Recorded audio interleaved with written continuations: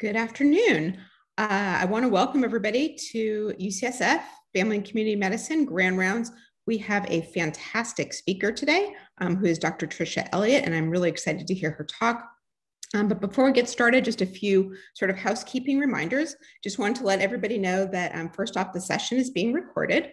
Um, and uh, it will be posted uh, after after today's session on our family medicine website. So if you missed prior grand rounds or you just want to review this one, um, uh, you can check us out there. We're also on YouTube.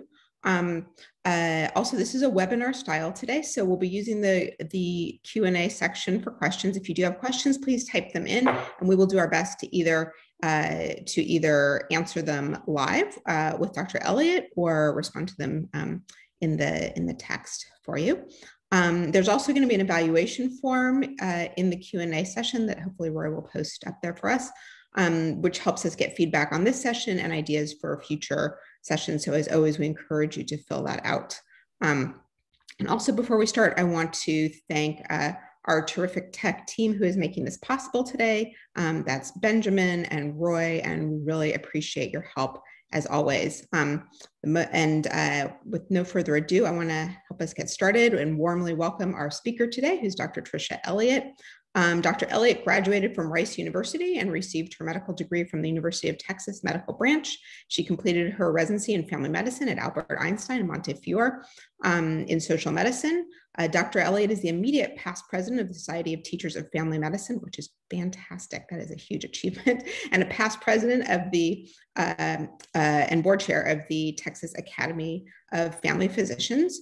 She has over 20 years of graduate medical experience, which includes nationally recognized work with the ACGME Family Medicine Milestones Group, the American Family uh, Physicians Council on Education, the Society of Teachers of Family Medicine, and more.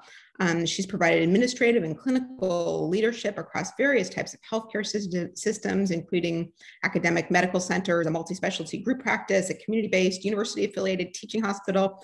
Um, she's been in the roles of clinical faculty, program director, vice chair for clinical affairs. She's done everything. It's I'm cutting her CV short only for time. It's really um, impressive. She's currently serving as the senior vice president of medical staff, academic and research. Um, uh, and uh, at uh, NDIO at the JPS Health Network in Fort Worth, Texas. She's a professor of family medicine at Texas Christian University and the University of North Texas uh, Health Centers uh, of in the School of Medicine, as well as other appointments. The list just goes on and on um, for her achievements. So I feel so deeply honored that she's come to talk to us about this topic today. Um, the title of the session is Addressing Racism and Advancing Health Equity in and Beyond the Exam Room. Uh, racism and the repeated trauma of experiencing racism has a direct impact um, on health and detrimental effects on our individual patients, our communities, our society. In primary care, we're poised to lead action and meaningful anti-racism change because we understand our patients, not just in terms of their pathophysiology, but also in terms of their relationships, their experiences, their communities, and their social contexts. Um, today with Dr. Elliott, we will discuss actions that we can take in our own practices with our own patients, communities, and even beyond to address racism, advance health equity, and bring about change and promote justice. Thank you so much, Dr. Elliott, for being here. I want to warmly welcome you and um, let you get started in your talk. Thank you.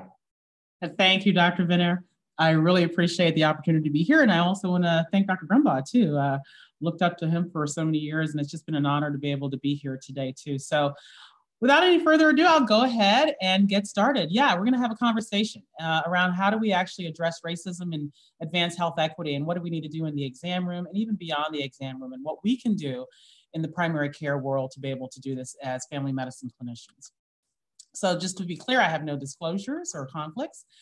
So what are we going to focus on? Well, let's talk a little bit about systemic racism and its impact on health, health outcomes, and health equity. We'll just do a little broad overview there. We'll also talk about some resources and processes maybe that you want to incorporate so you can actually address experiences of racism with your patients and actually also address social determinants of health and how we actually reduce some health inequities in our own communities and practices. And then I'll give you some tools that I like to talk about at the best practices in primary care of how you do this beyond the exam room in terms of these partnerships and other things we may want to do to be able to advance health equity and promote social justice in healthcare. So why are we even here? And why are we having these conversations? Well, we all know, unfortunately, I can't sum up 400 years of history in just a few minutes in terms of understanding that the racial and social impacts of economics and the policies established. But we're going to go ahead and have a conversation, move hopefully into a little deeper conversation, and hopefully a call to action. The events of 2020 definitely charged us all in America to look at how we historically and currently deal with race, and especially even how we do, do that in healthcare and in medicine specifically. With the murder of George Floyd and other Black Americans at the hands of police last year, and then also with COVID 19, highlighting the existing health disparities that we already knew were here in our healthcare system. So now we're at a call to action. And as you can see, this is our time to absolutely make this change. Martin Luther King told us many years ago, and this is over 50 plus years ago, but here we are, that of all the forms of inequality, injustice in healthcare is the most shocking and inhumane. And it's just really unfortunate that we see that this pervades even to this day. That racism, discrimination, implicit bias, and structural inequalities that we see in structural racism here, they have substantially impacted how we deliver healthcare and the outcomes that we do see in our patients and our communities. So we want to do some things to be able to address that, but we have to understand context and we have to understand some things around race and racism. So let's define race. So race is a social political, and power construct. It's based on skin color and other physical differences. It is actually has no genetic basis or no biological basis whatsoever. It can be different in different societies of how we define that. There's actually more genetic variation within any given race or ethnic group than actually between races and um, other races and ethnicities. So we have to understand the power dynamic and how it's set up because that's what drives in terms of racism. And racism is that belief and that system that has been formulated that different races possess distinct characteristics, abilities, or behaviors or qualities that actually will distinguish them as inferior or superior to one another. It truly is a power construct. So it's a construct there basically to make one group feel inferior and one group feel superior. Now, as we drive even further, we look at how we have set up certain institutional structures and systemic structures and establish structures, patterns, policies, and practices that perpetuate racism throughout. And it basically is that system that unfortunately consistently penalizes and denies the rights or benefits of people based on their race, culture, or ethnic origin. And unfortunately, it routinely produces inequitable outcomes. So how do we combat this? Well, right now you've been hearing a lot of talk about not just being not racist, but how are we anti-racist? And that's where we want to really move, even in healthcare, as uh, physicians and clinicians doing this work. So anti-racism is that process where we're going to be actively identifying and opposing racism. And our goal is to challenge it at all levels. We have to challenge it in our own systems of healthcare. And we have to actively change policies, behaviors, and beliefs that perpetuate these ideas of racism and these actions. And it's hard work. I'm not going to deny that, you know, that this is easy. I'm not going to say that this is easy. This is truly difficult work, but it's worthwhile and it takes everybody at the table to do this work. Just real quickly, uh, just letting you know, there's some things there just to, that kind of led us to this point. And it's important for us to know our history.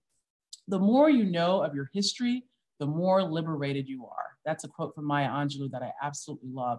And I'll just urge you, if you can take some time to understand some of that history, the 1619 Project is an excellent project around that history of race, but also understanding where racism has fit in medicine specifically. Medical apartheid, the medical bondage, of understanding the dangerous and brutal experimentation on different people over the many centuries that have led to where we are that has continually racialized medicine and moved us forward into this way and where racism fits within that. I won't get into all of the details around that, but I think it is important to understand that. Understand how health inequity has been set up by economics, such as things as redlining that occurred in 1930s, where African Americans were denied the ability to own homes. And we understand that home ownership is one of the biggest components of wealth. And unfortunately, century later, we're still dealing with the effects of those inequities. So a few more definitions here, health disparity and health equity. So let's talk about health disparities. Well, health disparities, the key thing there is understanding that these are preventable differences in the burden of disease, injury, violence, or opportunities to achieve optimal health. Achieving health equity requires valuing everyone equally with a focus on ongoing societal efforts to address avoidable inequalities. And so we really do believe that we are trying to achieve equity for all. That is achieving the highest level of health for all people. And in that, we also have to address healthcare disparities. Healthcare disparities is when we have those differences between groups in the quality of healthcare that we are providing. And that can be related to the access to that care, coverage for that care, uh, as we look at the way we pay for that care, clinical needs, preferences, and the appropriateness of those interventions. And so we have to thoughtfully look at all these aspects as we look forward. This is just another way, a schematic of being able to look at how health equity is, de is defined. And I really like this, is that opportunity for everyone to attain his or her full health potential. It's not about equality, not about providing the same thing to everyone to be able to achieve health, the highest health for themselves, but it's about making sure that we provide what's needed for that individual to actually achieve their highest uh, full health. So I like to think about it in this way. It's about providing the right shoe that fits that right, that individual. And we know what the reality is, is that we are all coming, there are different advantages and disadvantages for all groups. And it's not about everyone having the equal um, opportunity, but how do we achieve equity and giving everyone what they need to be healthy. So just a few things just to highlight as we've been seeing this. A lot of us have seen these already and knowing some of these statistics out there in terms of health disparities. But just as a reminder these are real numbers. These are real things that are happening in our own practices here. We look at things around maternal mortality. The unfortunate thing is that maternal mortality on a global um, scale has actually declined nearly 38%.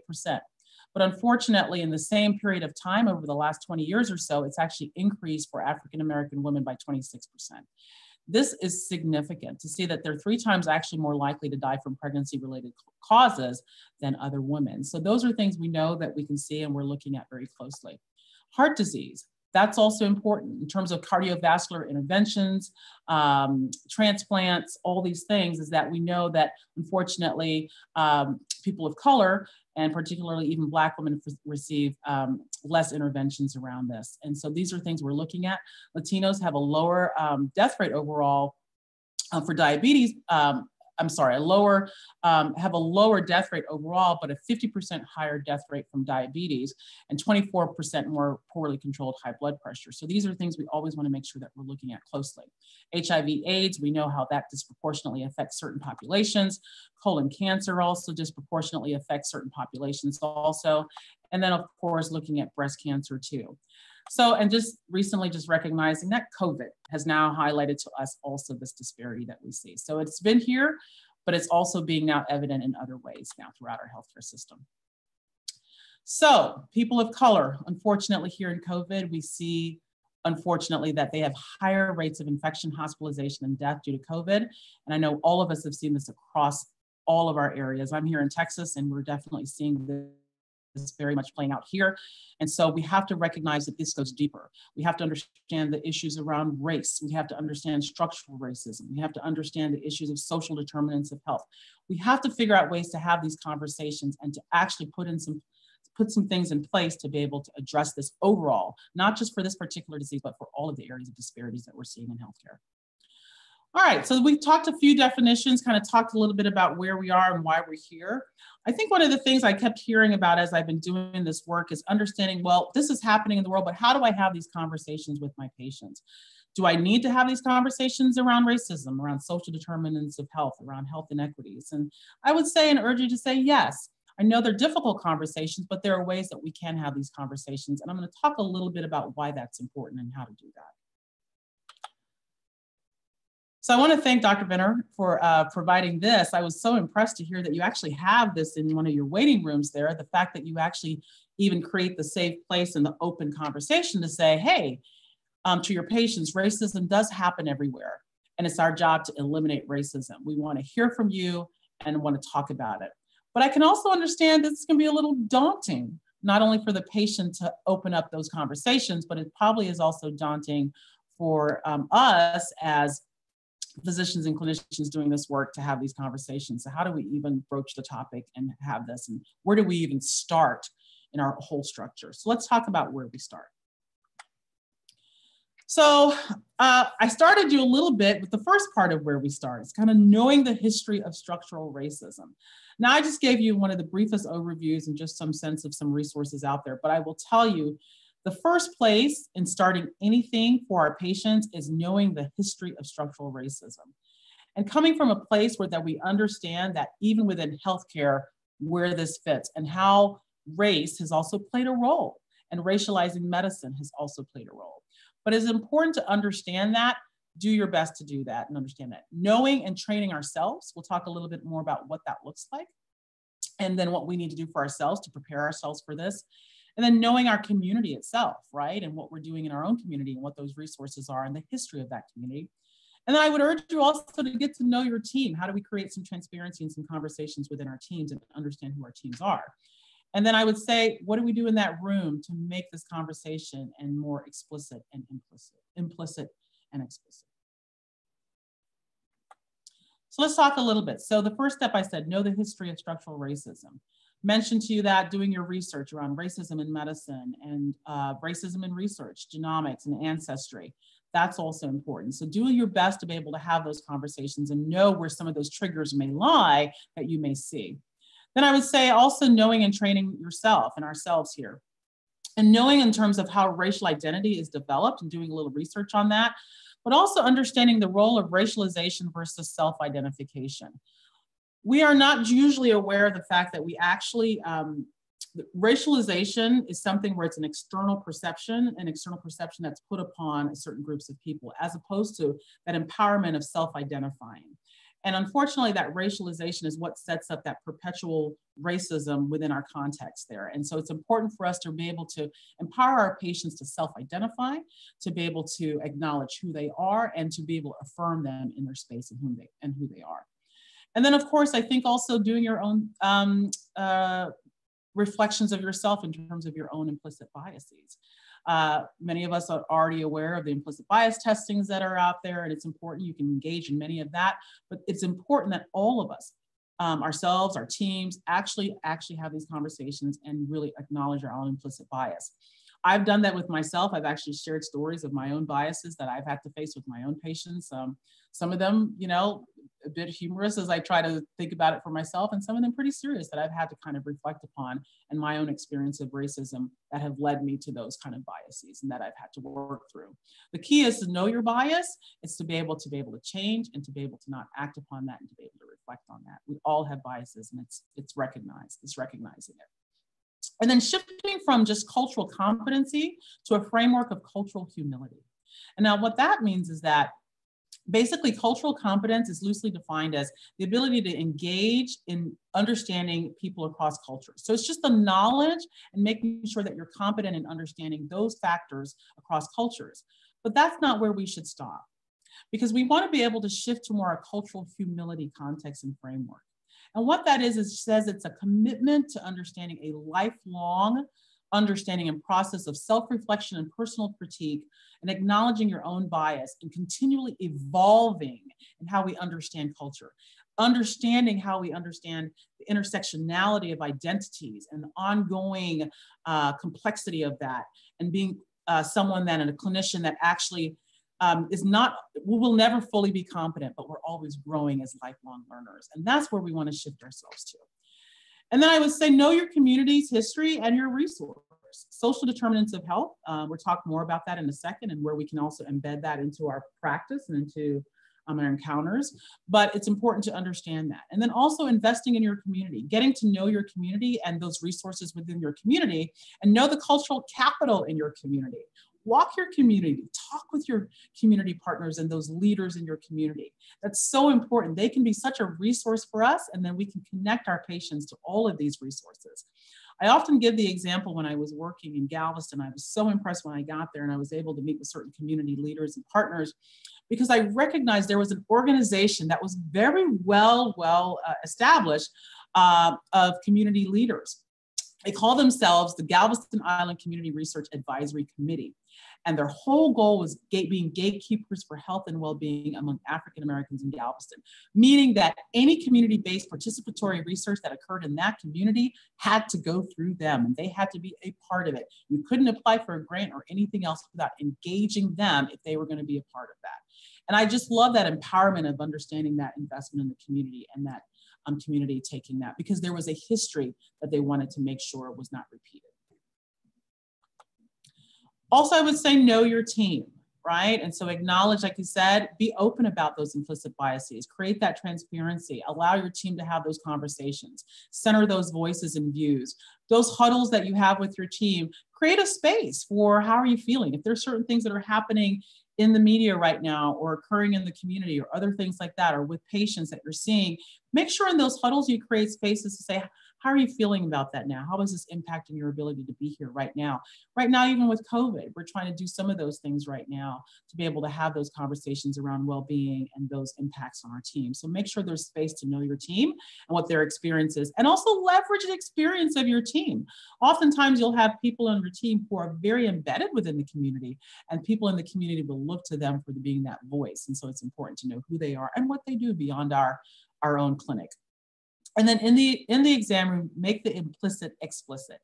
So create that safe and welcoming environment. Celebrate the identity culture. If you you know think about the Black Lives Matter flag or um, a Pride flag or whatever it is is you want to do, make sure that there are languages that are reflected that reflect your community.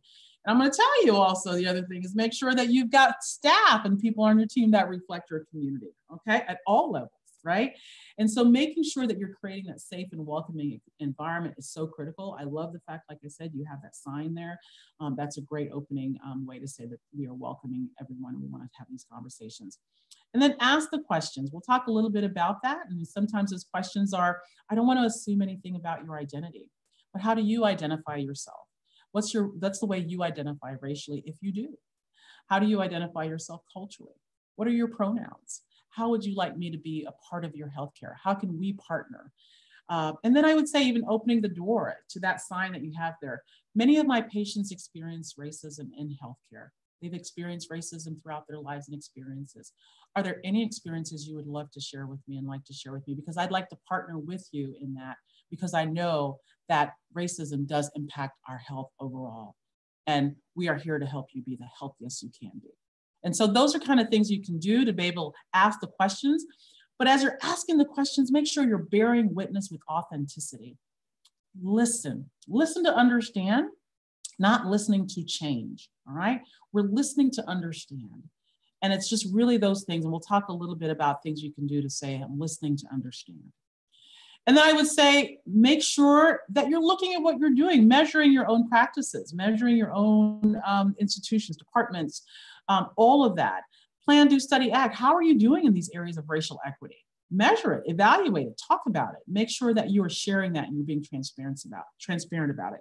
Don't assume that you're already there, right? Make sure we're continually having those conversations. So I, I, had to make sure that we had a little conversation to why this is important to bring this into the exam room, right? Why is it important for us to have these conversations? Well, I think we can all agree that this does impact health. It impacts mind, body, spirit, our whole health. It impacts it. And there is history and generational trauma that unfortunately uh, has affected where we are today. And we have to recognize that for our patients, that historical and generational trauma for whatever group of patients we are dealing with and caring for. So I wanted to talk a little bit about this, and I want to thank my uh, colleague, on my team, Dr. Glenda Mutinda, who's one of my director for interprofessional well-being. And we've been having these conversations because we've been trying to do some of this work also in caring for our caregivers uh, and understanding the historical and generational trauma they're bringing and how do we help them process that as they're caring for patients. But then we have to understand that in the context for our patients also. So historical trauma are those traumatic experiences or events that a group of people may have shared within a society, right? Or in a community or um, in a national group. So some of those examples are like 9-11, uh, uh, things like that could be, um, be uh, considered in that way. The other thing, and now COVID 19, the other thing then is also intergenerational or generational trauma. And this is trauma that gets passed down from those who have directly experienced it at a point from an incident. And then it passes on to subsequent generations. And so this could be things like we've heard about the Tuskegee experiments. That was something that was maybe a historical trauma, but now has become an intergenerational and generational trauma that has built up distrust or mistrust and so it's passed down to subsequent generations, such as also the Holocaust, a historical, deeply historical trauma that is also now intergenerational, generational trauma. So we have to understand that that is a continuum sometimes, and we need to recognize it to be able to have those conversations. And the reason we want to talk about it is because it can definitely manifest in illness, and it can manifest in um, in the way that we are able to achieve health and to be able to engage within our healthcare system and with others. So, on an individual level, that impact we can see sometimes in our patients from depression, anxiety, anger. Sometimes we may see self destructive behaviors, alcohol abuse, uh, other um, substance abuse, uh, low self esteem. The other thing is we often are seeing too is also some post-traumatic stress and that that impact of that. And so being able to talk about that is going to be important. And that's where also racism also plays a role in that and that repeated repeated experiences of either macro or microaggressions or just certain experiences may also trigger some of these kind of uh, post-traumatic stress disorder. On a community level, what we may see in terms of historical and generational trauma is a sense of unresolved grief so there is a community that is holding on and has this grief that does need to be processed. And we want to be able to help through that. Or disenfranchised grief, where that this grief does not even get acknowledged. It gets swept under the rug or doesn't even get um, validated by any of the social norms. It is just a sense of like, well, it happened, forget about it, move on. No, you cannot do that. Disenfranchised grief is real and we must acknowledge it and it must be validated, validated and acknowledged. And that's where we would want to get to that point on a community level where we're having difficulty with trust. And that happens also for us in the healthcare system, but even um, broader than that. And then, of course, um, on a community level, sometimes that, that oppression that gets pushed within. And so um, that external perception and the racialization gets pushed within and that oppression within. And those are the things that we are working towards that we really want to help our communities and our patients with. So a little bit more about in the exam room. So as we think about this, we understand the history. We need to understand our community's history. We need to understand historical and generational and intergenerational trauma. Now we really want to do have these conversations with our patients in the exam room. What do we need to make sure we do? Well, you can actually utilize a trauma informed care model too, even in this capacity sometimes, because it can be traumatic. Um, there's a recent article I actually just uh, found this this week, um, just yesterday. I was doing some reading, and there was an article talking about um, the impact on uh, of racism on Black women and neural responses. And the fact that it actually does impact the fear, um, um, um, inhibitions and fear and how it's triggering that. And they actually see the responses and the neural responses about these repeated experiences of trauma and how this is impacting them. And so these are real things that we're seeing now, and we can actually see the evidence around that. So this is just one model and one framework that you can consider um, around having conversations in the exam room when you do bring it up. Um, and I would say, just to say, it's not about what's wrong with you, it's about help me understand, right? What has occurred with you? What are those experiences that you have had? How has it impacted you? Where can we partner together to be able to move forward? I want to listen and be a partner with you to make you the healthiest possible. But that trauma informed approach is also acknowledgement. You've got to acknowledge that this has happened and that you have this um, sense of what's happened for your patient in the past and the present. And you really need that to be also um, an overall perspective. And the goals for trauma informed care is to realize that the widespread impact of trauma, understand it's a, it's a path to recovery. There's nothing instant here.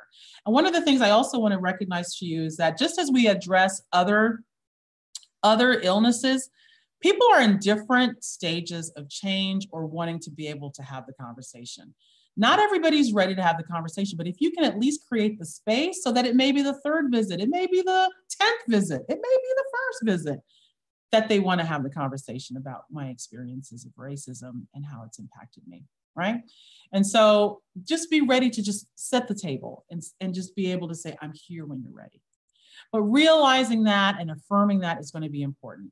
Recognizing the signs and symptoms of trauma, just as we recognize the trauma of other things, realizing that okay, we're used to things where we have people that have had a very specific trauma and we may recognize the depression, anxiety, we may recognize certain responses that we see from our patient. All of us may have had some of those experiences where you're you're with a patient and you're thinking, something's not quite right. This is, I'm triggering something here. It could very well be related to something around those experiences um, that they've had around race or um, race and racism. So um, just recognize those signs and symptoms we talked about earlier with patients, families, and our own staff, because they may also be triggered. And then integrate the knowledge about that into your policies, procedures, and practices. And we're going to talk a little bit about that um, coming up. And, and then we're just going to avoid re-traumatization. It's not about, you know, we don't want to sweep things under the rug. We don't want to say that, well, you know, it could have been just a different time or that was not their intent.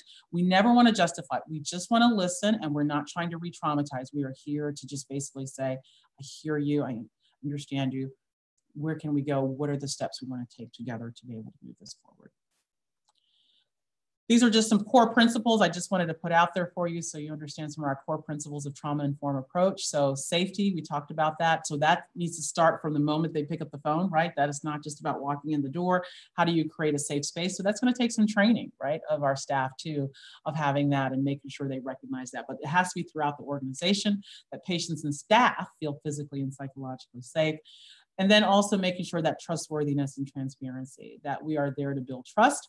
And then also if there are support systems that are there for our patients and our staff, that we want to connect them to that. Or maybe if they're not, do we build those? There are some actual wonderful um, things out there in terms of tools looking at affinity, um, affinity tools affinity groups even for our staffing and, and our patients to be able to help them process some of that and facilitate some of those um, support systems. So think about what those need to look like. And then of course, collaboration. So we have to acknowledge those power differentials too. And so we want to make sure we're not utilizing power differentials, we're keep on the same playing field and that we're trying to support a shared decision-making model. We want to empower our patients and our staff and utilize the strengths. That's why knowing your team, knowing your community and your patients and resources and building upon those strengths are going to be so critical because that's where you want to also be able to reinforce the idea of resilience and the ability to heal from trauma. And then, of course, bringing understanding our own our cultural humility we talked about and being responsive to that. So recognizing our own biases, the stereotypes we bring to that, and then understanding the historical trauma. Ask those questions within your own communities and own um, groups to be able to understand and recognize and address those. Uh, I just want to throw this out there because I love this. One of my uh, wonderful former colleagues, I think, is with you guys too, Dr. Catalina Triana. We used to love to do uh, motivational interviewing work together, and, and she taught me a lot too. And I just love doing this work in practice. And many of you probably already incorporate a lot of the concepts of motivational interviewing, but I just think it applies to everything that we do, and it can apply to how we have this conversation. So just remember, this is sometimes a dance with your patients. You have to follow their lead. And so if they're not ready, it's okay. We're just there in that moment with them. We're in that moment with them. But if they're taking you someplace, it's already follow them, follow their lead. It's about partnership and accepting them where they are in the moment they are, that compassion that we bring forward, and then evoking that even more where we're asking those questions and we're affirming. The other thing is just utilizing simple motivational interviewing um, concepts like OARS, asking those open questions, right? Allowing them to tell their story in their own words, not leading them in any direction I want to learn more about you beyond your medical problems, and I want to be partners with you to take the best care of you. Some find that their race, their religion, or the culture is important to their health. What are your thoughts about this? What are your experiences around race, racism, your experiences in your community right now that you feel are affecting your health or have affected your health? Open those questions, let them lead and tell the story.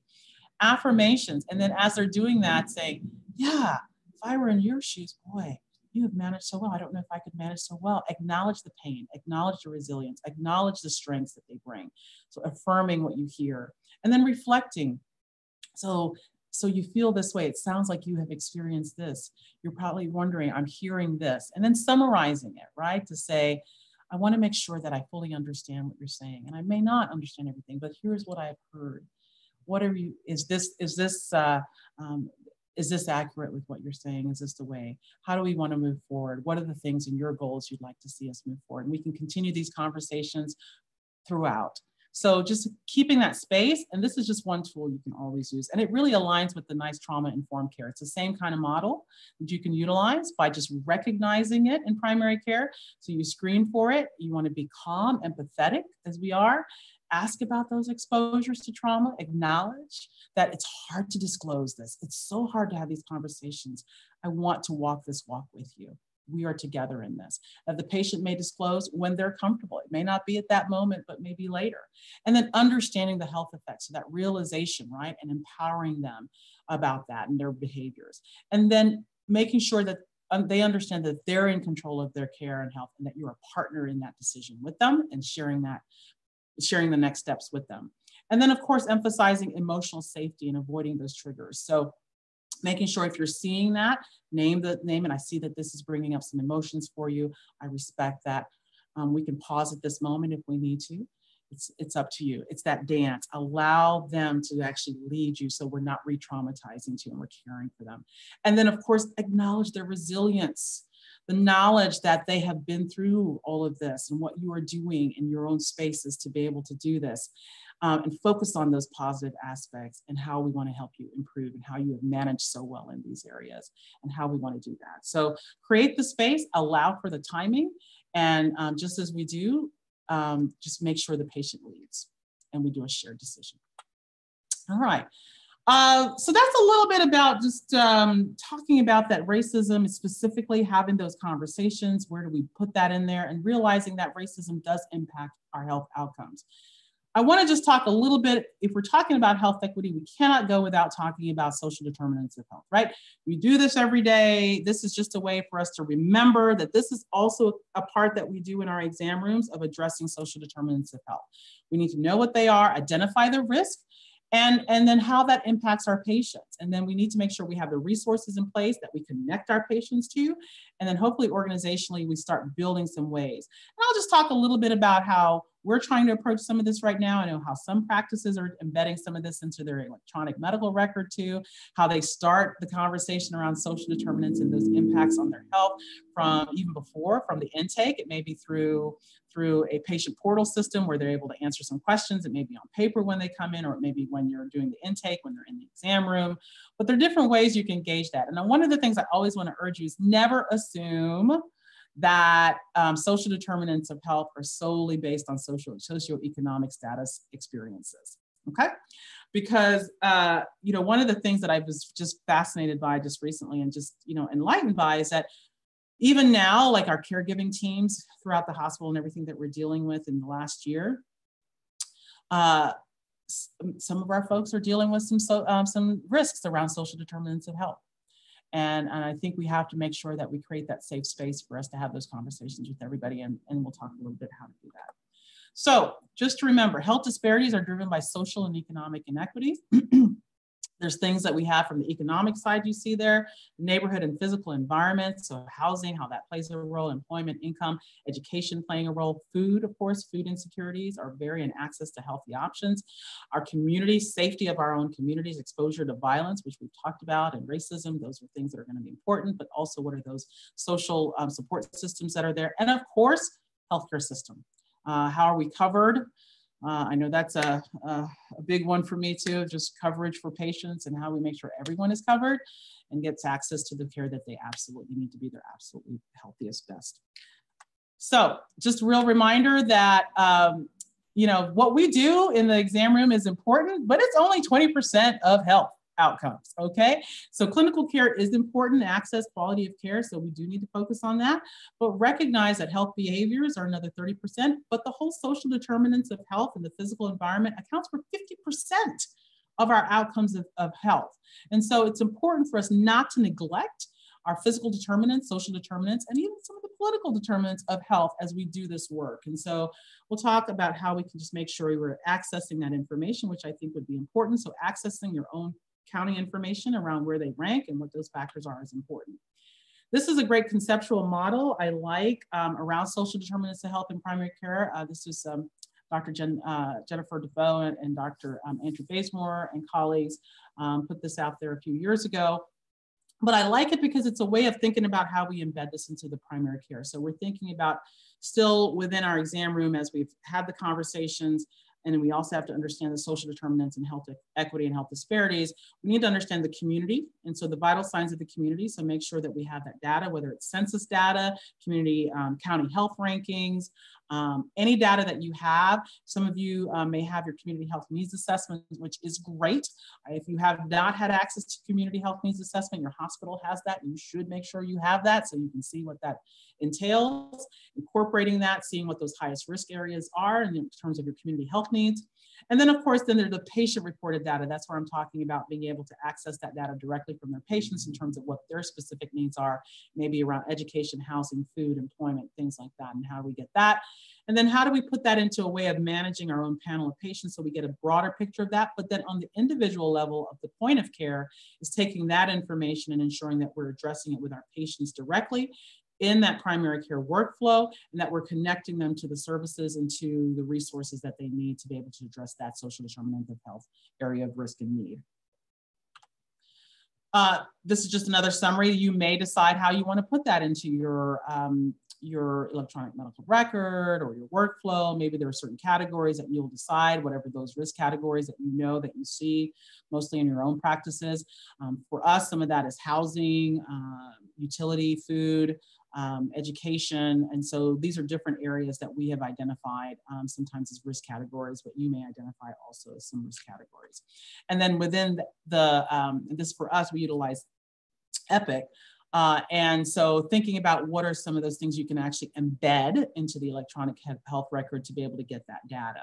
So um, as you see, there's some of those that we already collect, but then some of the other things we want to collect in terms of the new uh, social determinants of health and utilizing our tools there are things around education, finances, um, uh, stress, housing, whatever it is that you feel that you think you need to make sure that you're collecting so that you can actually address it. Uh, and so, yeah, you can, like I said, utilize different models. So it could be when you're doing your vitals or take your intake there. It could be before they get there. If you have a patient portal, like we have MyChart and they do a pre-visit form, or you can ask some of these questions. You don't have to have every question. It just can be basic questions on those areas of risk. You could have it where the patients do it in the room, or you could do it with the, the medical assistant or the nurse or with the physician themselves. Um, it's important just to make sure you're getting that information, summarizing it.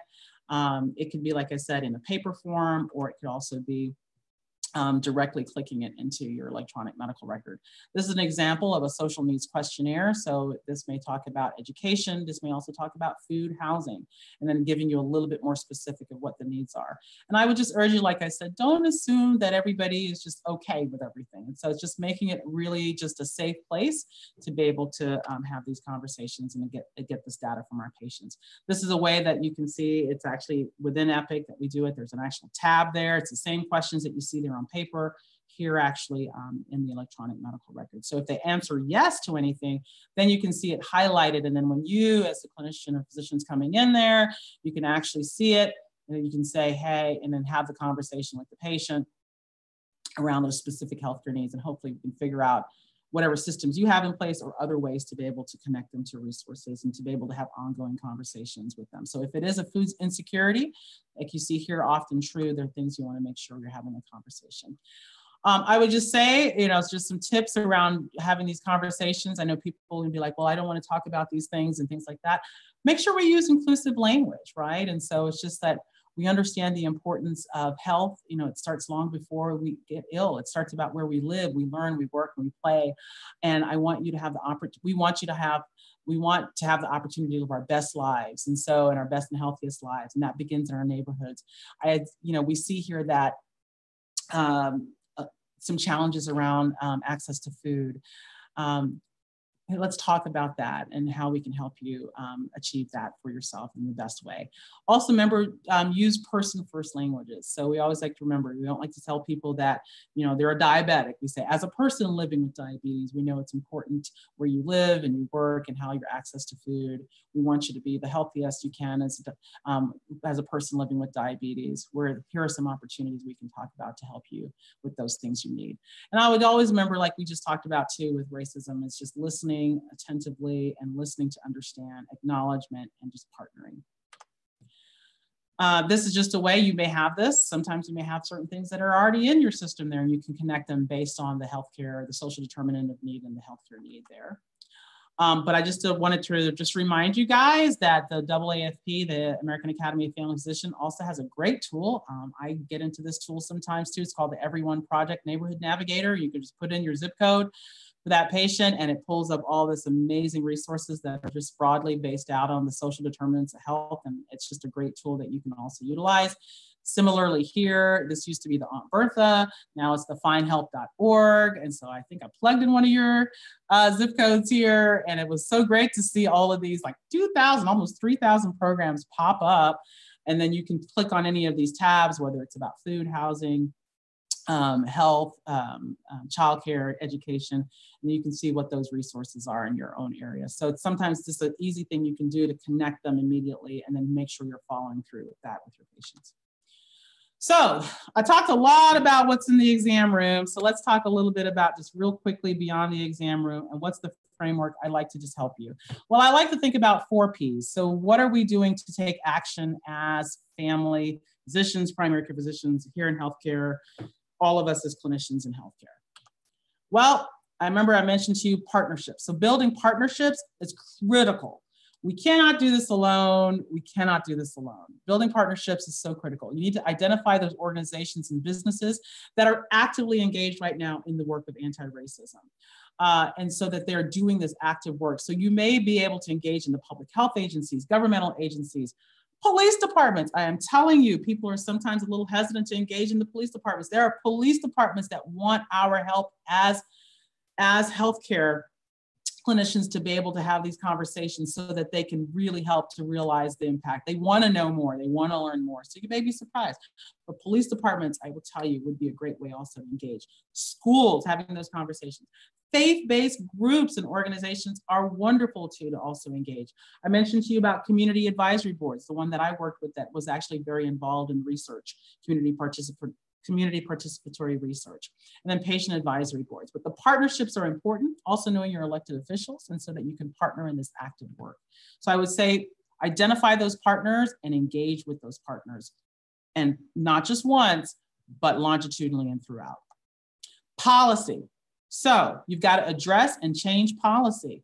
So I would say this is sometimes the hardest work, and this is probably the most long-term work that it takes, right? What are your policies for your organization when staff are subjected to discrimination, prejudice, bias, or racism from patients or other, right? Do you understand what those are? So make sure you're looking at that. We're actually going to be doing that active work. It's going to be part of our strategic plan moving forward. I was um, very uh, vocal about that, and I think um, we have a lot of great partners that are going to be looking at um, assessing our own policies um, um, for our organization and then really engaging. And as you're doing that, not only you're looking at your local, state, national policies and those practices that are negatively affecting or disadvantaging people of color, make sure that also you engage people of color, right, or the disenfranchised group into the process of developing policy. And make sure that we all have, of course, the defined goal of eliminating the gap due to racism and health equity. But it's important to, if you don't change policy and you don't address that, nothing ever persists and is sustainable. You must address policies. So partnerships are critical and you need those partnerships also as you're uh, addressing policy and changing policy. Practice. So this is some of the things I talked about your own practices. So we talked a little bit about what to do in the exam room. This is beyond the exam room. So I'm not going to spend a lot of time, but reflect on your own practices, right? Seek to understand the experiences of your patients, the legacy of the community I talked about. Make sure you're implementing implicit bias training for your whole healthcare team and keep those ongoing conversations and accountability, those huddles, make sure you're having space for those conversations. And ensure workforce diversity. If you don't have a workforce that looks like your patients or at all, yeah, there's an issue there, right? Go back to your policies, hiring practices, everything else that you need to look at, and ensure there's workforce diversity. You've got to change your practice and also investigate investigate your patient outcomes right? Make sure you're reflectively looking at your own quality of care and your your own quality improvements so look at your patient outcomes. Is there a disparity there in my own practice that i'm not even aware of? Look at the data. And then you can identify those root causes and start doing some actual work. And that's where you can do some quality improvement analyses to make sure you don't have certain potential areas of biases that you may have in your own practices that you're not aware of. And then i would say the last p i like is positioning or advocacy. I have a passion for advocacy, so I have to just put this out there. And just remember, you got to leverage positions, understanding that politics drive policy. I know some of us don't like the word politics, but just understand politics drive policy. So advocate for policies that drive health equity. If, there, if that's happening at your local, state, national level, just make sure that you're part of that conversation. Remember, your leadership matters. What you do in healthcare matters. You are seen as leaders within health systems, school boards, city councils, all these other places, and even your federal and your state and local legislators. They want to hear from you. Remember, you are the expert in your field. So your voice matters. Advocate for what you think is important and advocate for our patients and our communities. So just remember partnerships, right? Uh, change those policies, address those policies for sure. Make sure we're looking at our own practices, what we're doing in our exam rooms and with our own team members and what we're doing there. And then of course, positioning ourselves and leveraging those positions around advocacy and remember that politics do drive policy. I think I went through that, Dr. Venner. So I would love to be able to uh, uh, have some resources I'll share with you later and you can have this. I'll send this to um, the group, but I'm open to any questions. Wow. Thank you, Tricia. That has been an amazing and inspirational talk. I doubt that you had time to read the comments while you were talking, but they were also really positive and generative. Um, uh, we don't have very much time for uh, for for questions, so I think what I'm going to do is just pick one. Although I will point out that there that I would encourage everyone to just read through them because there's some great comments from Michael Reyes about the work that's being done with the Pacific AETC around trauma informed mm. care.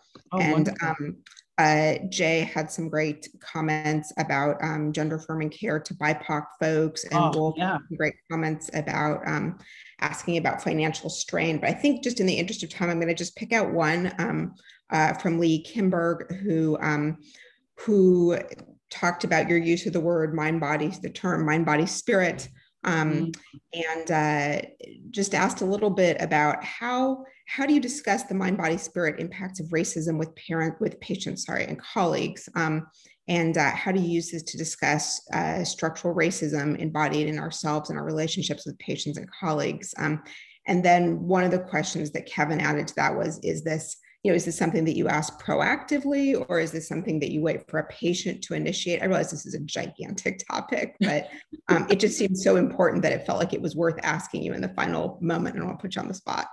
Absolutely. No worries at all.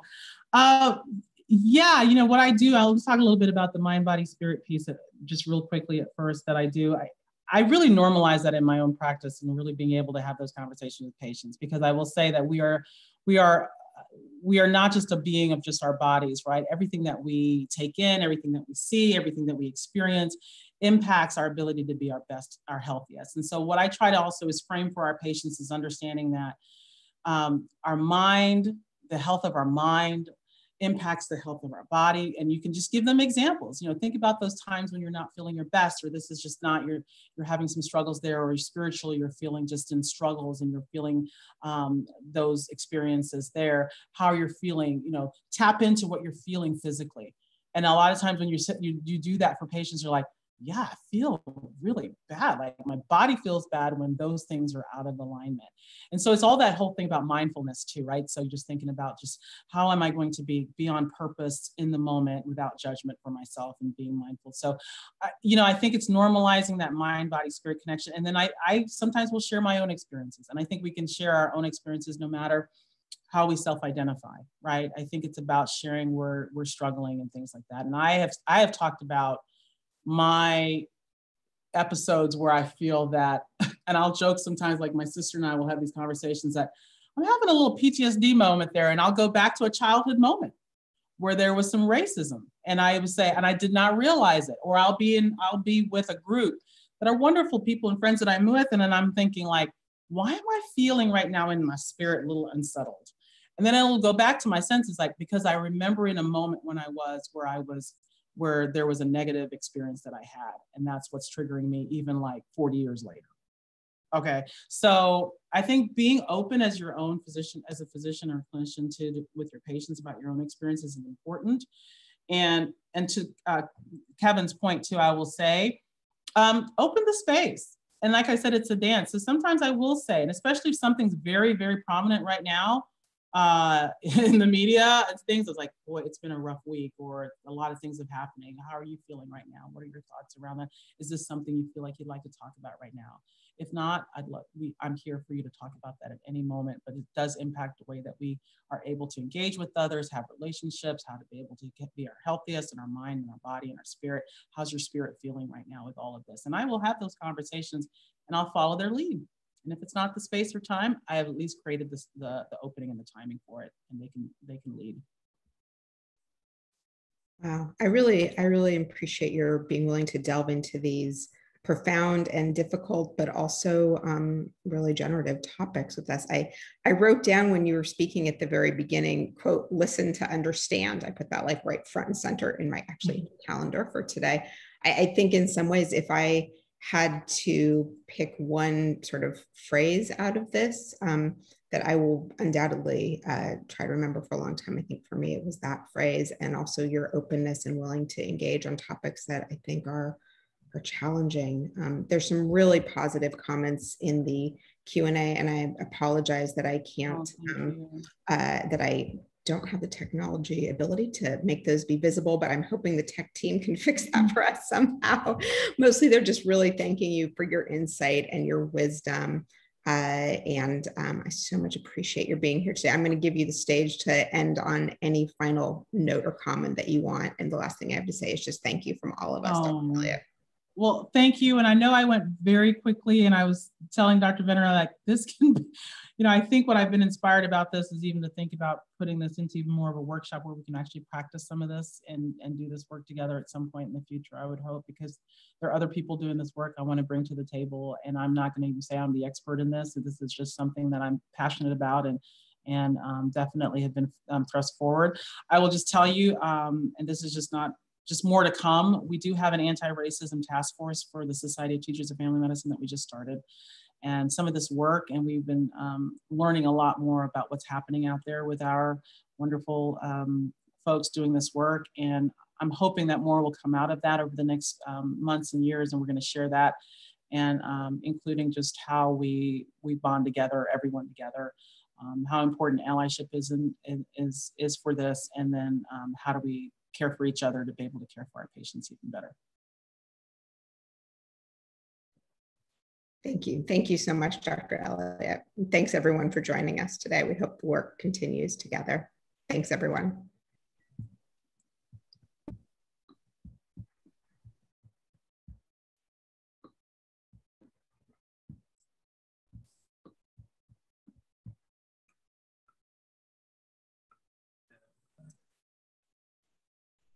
Right. So are we able to like chat among us now?